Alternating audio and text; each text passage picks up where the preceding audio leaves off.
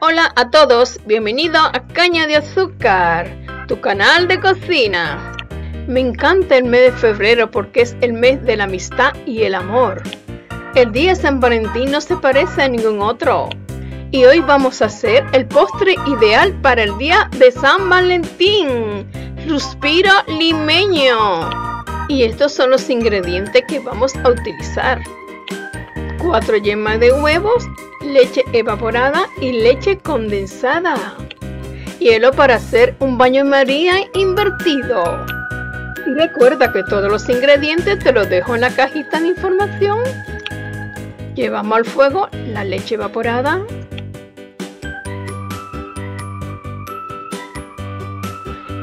Y la leche condensada.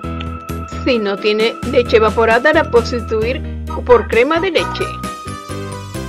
Removemos unos 10 minutos a fuego muy bajo. Tenemos las yemas con una cucharadita de esencia de vainilla. Removemos para romper las yemas. Que queden líquidas. ¿Sabía que este postre es de la gastronomía peruana?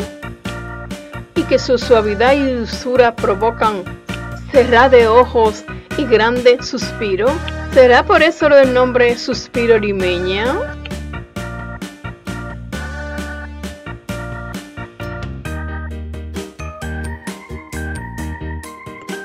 Pasados los 5 minutos, retiramos del fuego y agregamos las yemas, sin dejar de batir. Removemos, removemos y removemos.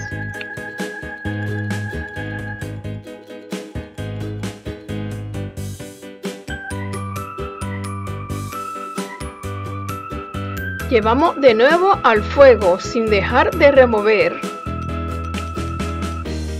Y unos minutos ya la tenemos. Mira cómo está de espesa, así la queremos. Retiramos del fuego directamente al baño María invertido. Dejamos el hielo hasta que enfríe y sin dejar de remover.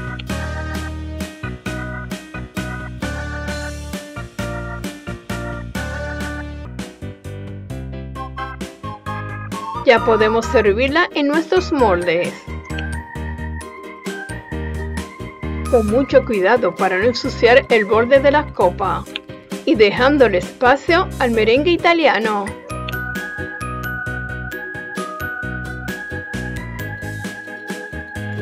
Tapamos y llevamos al frigorífico hasta preparar nuestro merengue italiano. En el bol de la batidora ponemos las claras de huevos.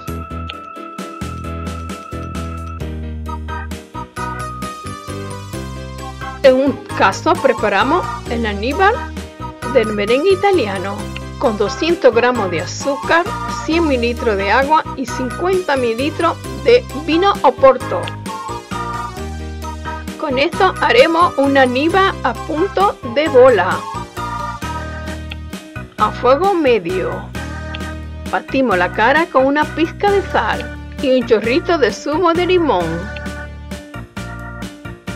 Para saber si la niva ya está a punto de ir buena, ponemos un vaso con agua, tiramos un chorrito y si se forma una bolita, es que ya la tenemos.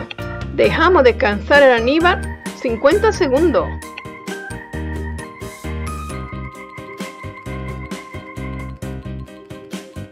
Agregamos el aníbal en forma de hilo y muy suavemente y sin dejar de batir hasta que el bol de la batidora esté frío o templado. Y tenemos un merengue perfecto.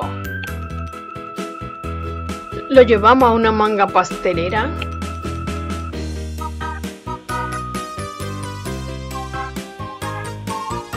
Y agregamos a nuestro manjar blanco en forma de roseta. Espolvoreamos canela en polvo. Mira, mira qué maravilla. Con este postre vas a sacar un suspiro a tu enamorado. Déjame en los comentarios si te ha gustado. Y muchísimas gracias por haberme acompañado. Y ahora vamos a ver cómo ha quedado. Sencillamente espectacular. Su cubierta canilla de azúcar, manita arriba. Bendiciones para todos.